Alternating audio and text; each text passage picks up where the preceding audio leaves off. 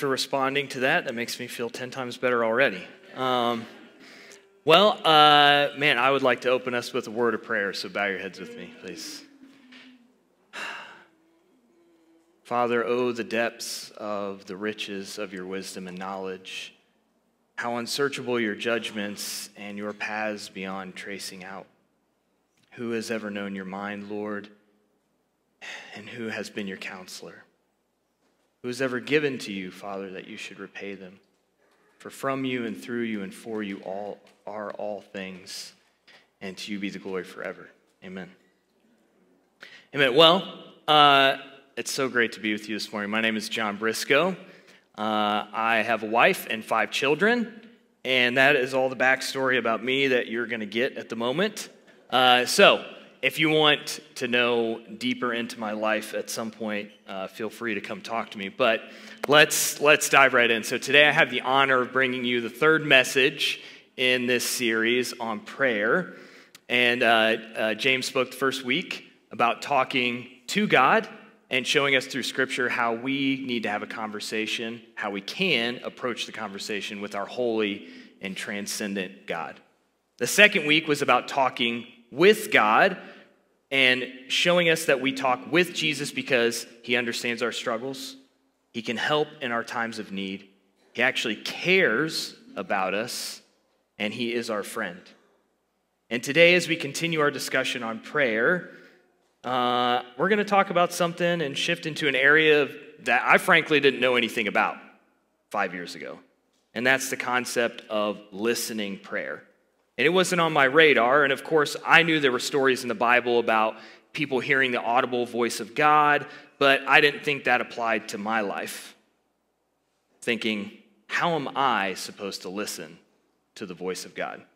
Well, I was encouraged recently by this next statement, and I am going to encourage you with it this morning as well. And it is that you can hear the voice of God, and you have heard the voice of God. And in fact, you wouldn't be here right now this morning if that weren't true. At some point, you felt a prompting and you said, God, I need you. And you decided to show up at Bridgetown Church of Christ this morning, right? So I hope, uh, keep that in the back of your mind. And I hope that you aren't skeptical thinking, well, just because I haven't heard, I haven't heard the audible voice of God. Maybe you have. But if you haven't, don't think, well, I haven't. Okay? So, our main passage today is going to come from John 10, but we're going to start in John 9 toward the end. So, if you want to go ahead and open up your Bibles or Bible apps if you have those, um, go ahead and open up to the end of John 9. And John 9 tells the account of Jesus, right, healing a man who was born blind. And the man ends up going to the synagogue and the Pharisees and telling, and they, they're like, oh my goodness, like, are you sure you were blind? And he's like, yes, I was blind. Now I can see. And they're like, who healed you? And he's saying, I don't know who he was, but this man healed me. And I, all I can tell you is, I was blind and now I can see. Okay? And so then they, they, uh, not really super happy with him, and he kind of hits him with this zinger. Uh, you can read that for yourself in there. I always love when the Pharisees get it stuck to them. Um, so he hits him with a zinger, and they're so mad they throw him out of the church, right? Out of the synagogue. They're like, you know what? Get out of here. We just cannot deal with you. Um, talking about this guy who healed you. Is he from God? Okay, so we're going to pick up the story where Jesus comes back in and he is talking to, uh, at first, he's talking to this man who was, who was blind and now he can see. Okay, so we're going to read John 9, 35 through 41. Okay, so it says, Jesus heard that they had cast him out. And having found him, he said, Do you believe in the Son of Man? He answered, And who is he, sir, that I may believe in him? Jesus said to him, you have seen him, and it is he who is speaking to you. He said, Lord, I believe, and he worshiped him. Jesus said, For judgment I came into this world, that those who do not see may see, and those that see may become blind. Some of the Pharisees near him heard these things and said to him, Are we also blind? Jesus said to them, If you were blind, you would have no guilt. But now that you say we see, your guilt remains. So, one of my favorite themes throughout the Bible is humility versus pride. It shows up on almost every page. And in this account, Jesus relates humility and pride to blindness versus seeing. The blind man humbles himself to worship Jesus as soon as he knows that was who healed him and that he was the Son of Man. He immediately proclaims him as Lord, and he's completely focused on the healer. The Pharisees are focused on themselves. They say, Who cares about this miracle? This Jesus guy healed you. Who cares? It doesn't matter. We just don't want you talking about him because we don't believe that he is the chosen one, right? They're so blinded by their own faith in their own righteousness that they couldn't see their need for forgiveness or the Messiah standing right in front of them, asking them to humble themselves and just believe. Okay, so this next phrase is what the big takeaway for this morning. And I am not uh, smart enough or wise enough to come up with really clever sayings or things that rhyme. So I apologize for that. So it's just that humility is the key to unlocking your ability to hear the voice of God. Okay? Humility is the key to unlocking your ability to hear the voice of God. And what I mean by humility is not thinking lowly of yourself, but a more biblical definition of the term. And I believe that is willing surrender. There has to be a willingness to your surrender for it to truly be humility. True humility is saying to God, I can't do this, but I know you can all throughout the Bible, right? God blesses those who are truly humble, and He steps in and He does amazing things. In the Old Testament, Joshua, who took over leading Israel after Moses passed away, says to the Israelites, right before they cross the Jordan to the promised land, consecrate yourselves, for tomorrow the Lord will do wonders among you. To consecrate simply just means to make sacred to a purpose. To consecrate yourself to the Lord is a humble act. So, in other words, Joshua is telling the Israelites to willingly surrender their purposes to the purposes of the Lord. And in doing so, the Lord will do wonders among them. Okay, so I want that definition of humility, willing surrender, to be in your minds as we dive into John 10. Okay, so we set up what's about to happen in John 10, Jesus' teaching by looking at the Pharisees, right? They were like, Are you saying that we're blind? Okay, so this is Jesus now responding to their question. So he's talking directly to the Pharisees at this point. So this is John 10, 1 through 6. Truly, truly, I say to you, he who does not enter the sheepfold by the door, but climbs in by another way, that man is a thief and a robber. But he who enters by the door is the shepherd of the sheep. To him the gatekeeper opens. The sheep hear his voice, and he calls his own sheep by name and leads them out. When he has brought out all his own, he goes before them, and the sheep follow him, for they know his voice. A stranger they will not follow, but they will flee from him, for they do not know the voice of strangers. This figure of speech Jesus used with them, but they did not understand what he was saying to them. Okay, so in typical Jesus fashion, right, he doesn't he doesn't take a question and really answer it straightforward, but he uses the opportunity to teach, to use a parable, and the Pharisees are just kind of standing there like, uh, what is this guy talking about? He was just talking about being blind and seeing and not seeing, and if you do, you're blind, and now all of a sudden he's talking about sheep and like what is going on? Right? So they're really confused. Okay, so let's break down this parable a little bit, see who we're working with, and uh, we're very blessed, right, to have the Word of God. We can look back, we can look forward, we can dive in, and we can kind of figure out um, what, who Jesus is talking about, what he's talking about, so that uh, we don't have to be as confused. So, we're going to focus first. We have the thief, we got the shepherd, uh, we got a gatekeeper, and we have the sheep. All right? So we're going to start with and focus on the shepherd and the sheep. Okay? So the shepherd is Jesus, as he himself points out later in this passage. So that's probably not come as a surprise that Jesus is the shepherd. Okay? But maybe to a slight surprise, you may be thinking, well, we're the sheep, right? I get that. Well, we're actually not these sheep. Okay? We are not the sheep in this sheepfold. Okay? He's actually talking to the Jews, right? I promise we're going to come up in the story in a little bit, but right now, these are not us. We're not these sheep. John 1 11 through 12 tells us he came to his own. Okay, Jesus came to his own, which he was born a Jew into the Jewish people. So he came to the Jews, and his own people did not receive him. But to all who did receive him, who believed in his name, he gave the right to become children of God. Okay, so Jesus came to proclaim the good news to the Jews first, but not all believed. So in this story, Jesus says that he calls his own sheep by name and leads them out. The Pharisees and any other Jews who didn't believe in Jesus are still in the pen, right? Jesus came in, the gatekeeper opened, and he's like, you know, all who are mine come out. And so those Jews that did not recognize his voice didn't follow him out.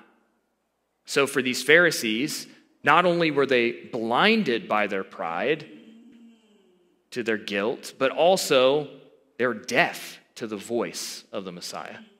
Their pride causing blindness and deafness. Okay? But what about all of us non Jews? I don't, Maybe some of you who are of Jewish heritage in the room today. I don't know if I am or not. I've never done the 23andMe or, you know, any of those DNA tests. So I, who knows? But who about, what about us? Are we sheep listening for the shepherd? Are we something else? Okay? I told you not to worry. All right, here verses 14 and 16. This is where we come into the story. Jesus says, I am the good shepherd. I know my own, and my own know me, just as the Father knows me, and I know the Father, and I lay my life down for the sheep. And I have other sheep that are not of this fold. I must bring them also, and they will listen to my voice. So there will be one flock and one shepherd.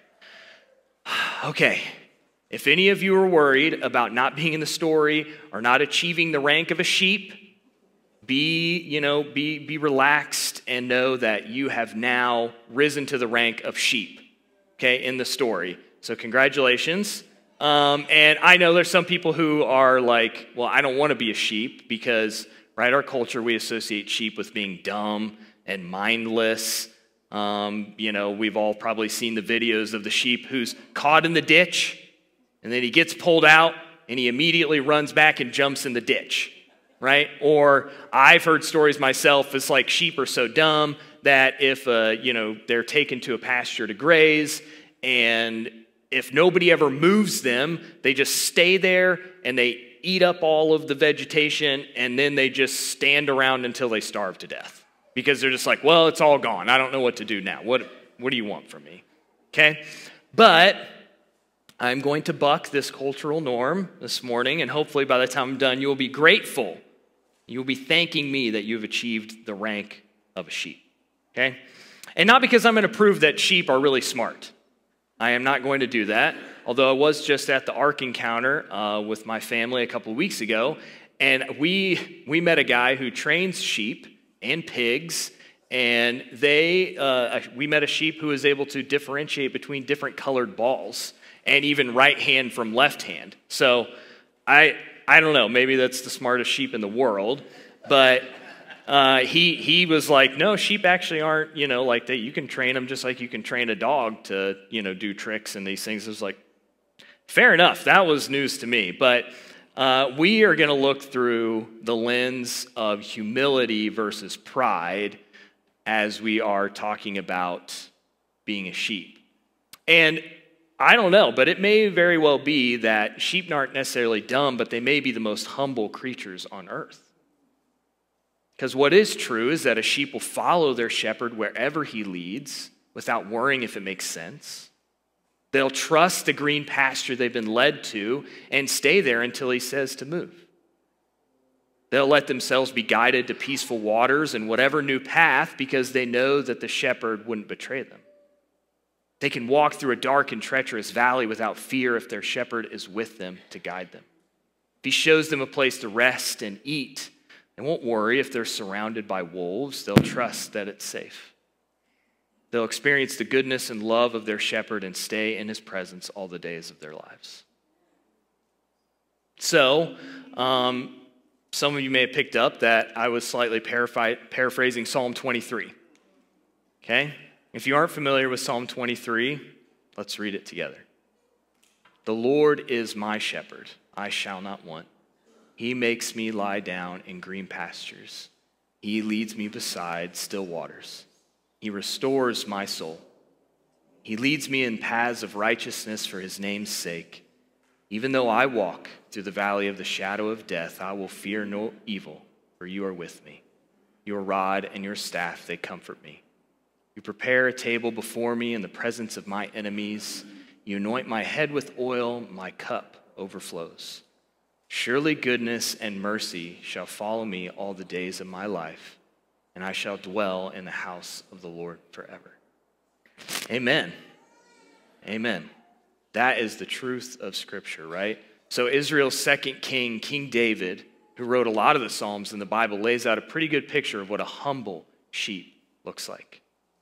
And I think we can all agree that if David, the man after God's own heart, as he is well known, wanted to compare himself to a sheep in the light of the Lord being his shepherd, then we can be glad to have achieved the rank of a sheep right next to him. So I said earlier that you can hear the voice of God, and I meant that because if you're here this morning, like I said, then at some point you heard your good shepherd call to you saying, there is more to life than what you have right now. And you showed up here this morning at Bridgetown Church of Christ. Of all places you could be in the world right now, of all the places you could have ended up in your life through different and various circumstances, you are right here this morning for a reason. And I do truly believe that. Okay? So, be encouraged and that be encouraged that you have the ability to continue to listen to the voice of God. It doesn't have to just be one time. All it takes is choosing to be a humble sheep.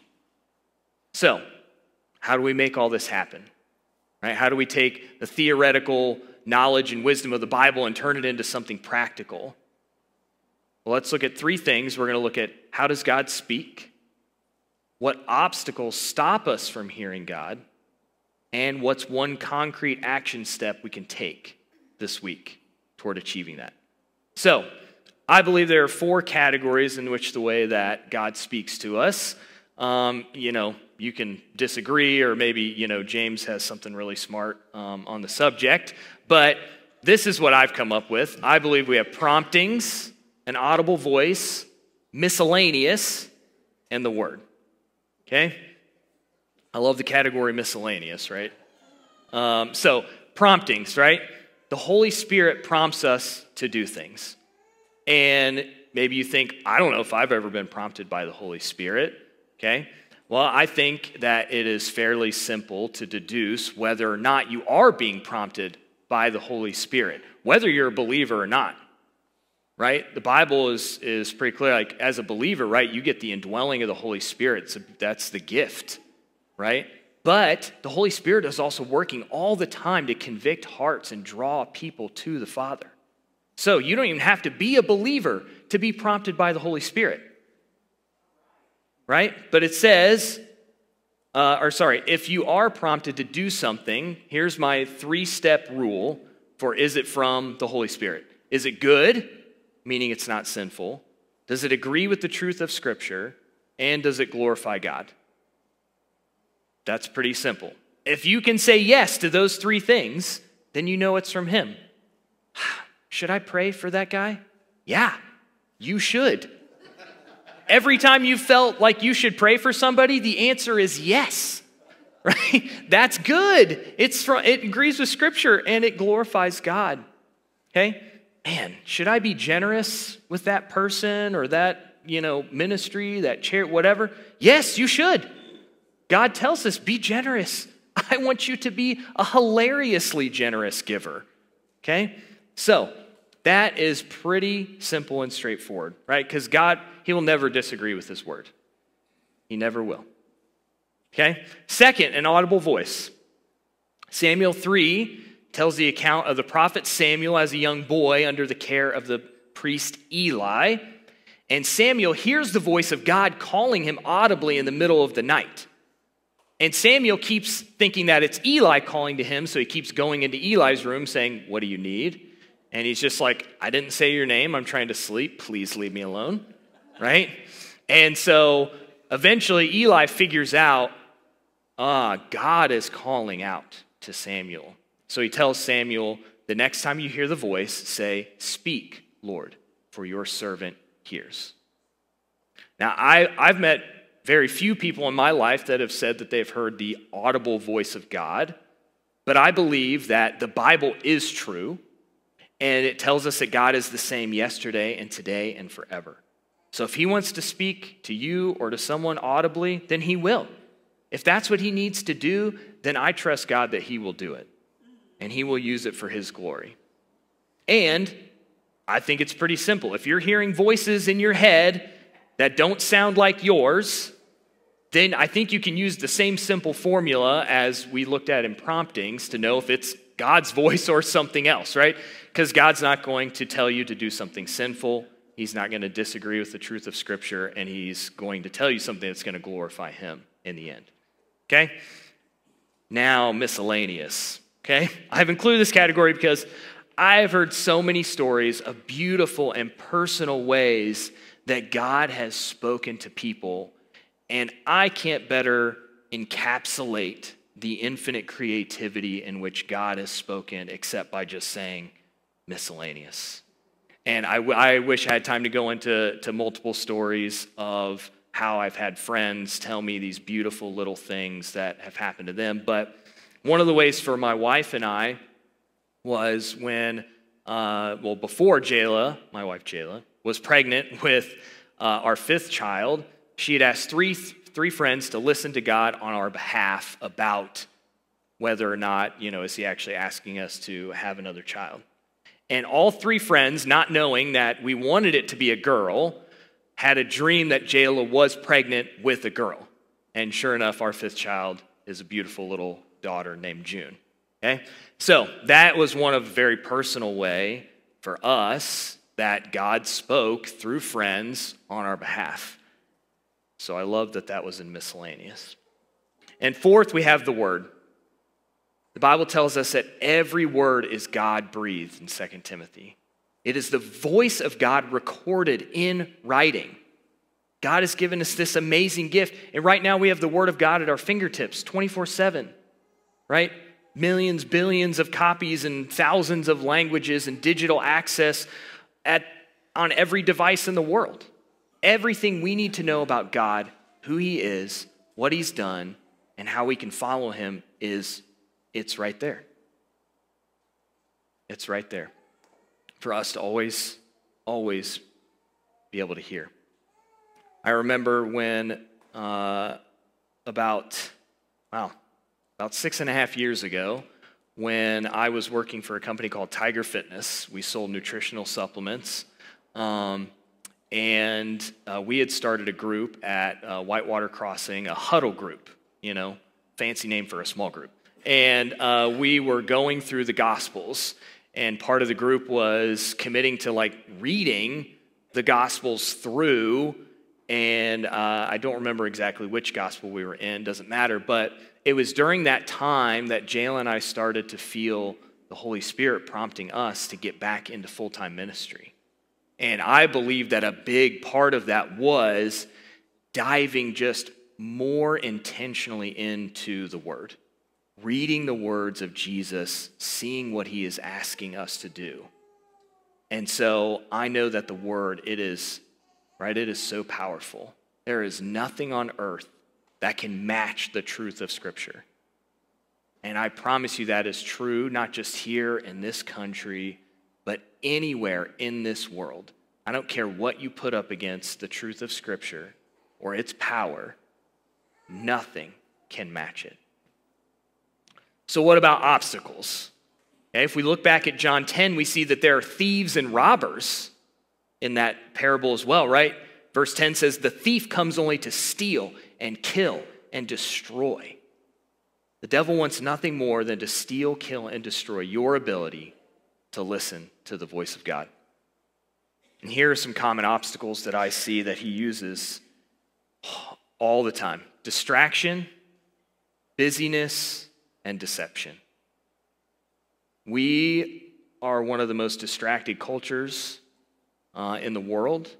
I know I don't need to go into detail about all the things that distract us each day, and I'm sure that just by the mention of distraction, the Holy Spirit probably brought, brought something to mind that is a distraction for you.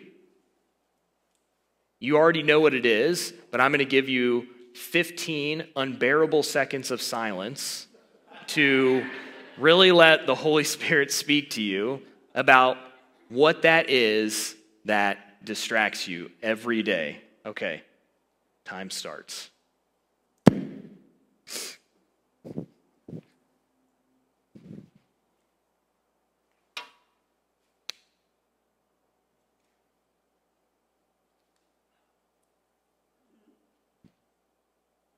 All right, I lied. That was 18 seconds. Okay.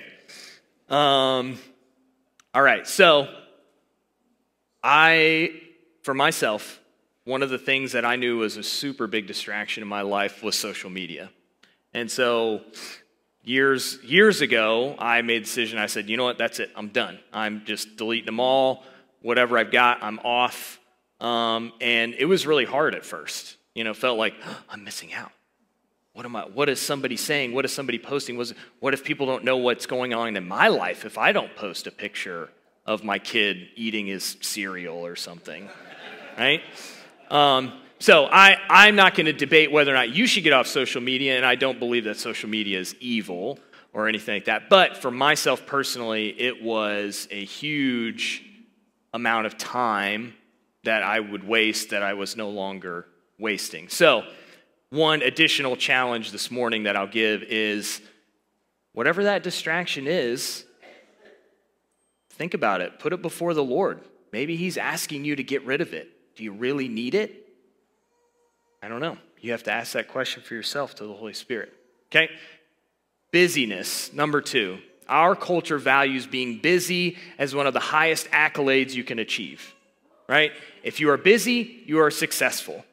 It's the opposite of being lazy, and we don't want to be lazy people. But busyness, I believe, is one of Satan's greatest weapons to keep you out of the presence of God.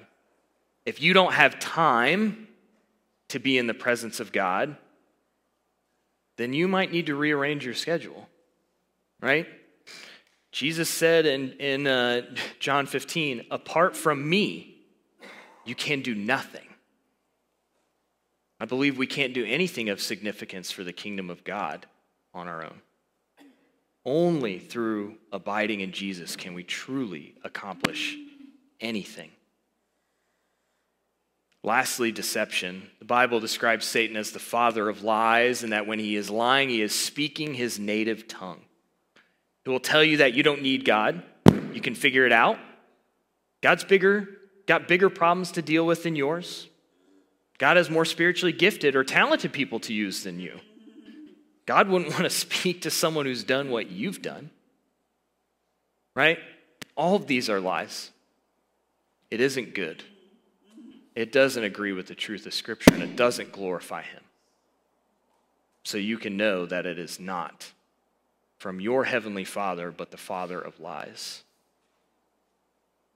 So, Scripture that has continued to hit me hard uh, recently is from Matthew 7, because Jesus tells us in Matthew 7 there are two kinds of people. One person hears the words of Jesus and puts them into practice. He is wise. He builds on a foundation of rock, and his house withstands the storms of life.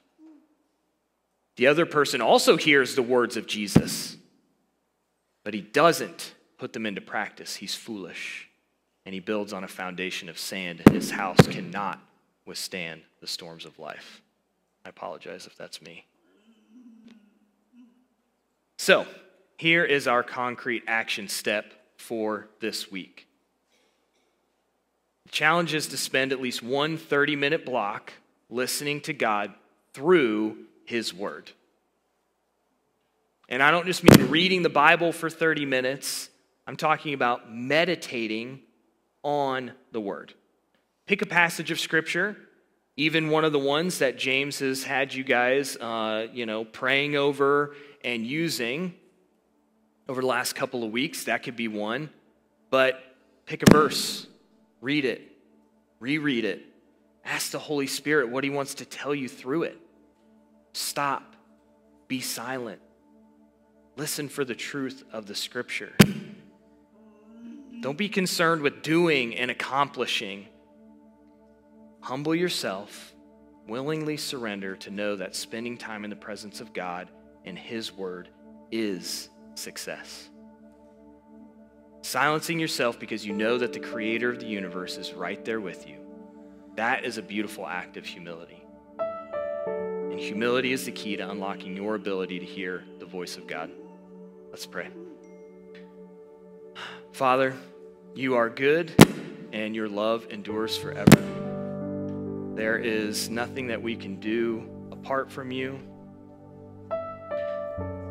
And I just want to pray a blessing over everyone here in this room this morning. That whatever scripture you point out is something that they will hear and put into practice. Lord, because there is nothing more powerful than your words. And I thank you that we have heard you and that we can hear you and that you are good. Amen. So, as we go into a time of communion, I want to focus on how Jesus showed us how to be humble while he was on earth. And his greatest act of willing surrender was to die on the cross to save us from our sins. In John 10, Jesus finishes his lesson with this in verses 17 and 18. For this reason, the Father loves me because I lay down my life that I may take it up again. No one takes it from me, but I lay it down of my own accord. I have authority to lay it down, and I have the authority to take it up again. This charge I have received from my Father. He is our good shepherd, and he chose to lay down his life for each and every one of us sheep. He willingly surrendered to death on the cross so we could be forgiven of our sins. And he commanded us to remember this sacrifice through communion. So we're going to invite all believers to participate with us. Uh, if you're here and there are packets, hopefully you got one as you came in. So let's take communion together. Jesus ate with his disciples and he took the bread and he had given thanks, and he broke it, and he said to them, This is my body, which is given for you. Do this in remembrance of me.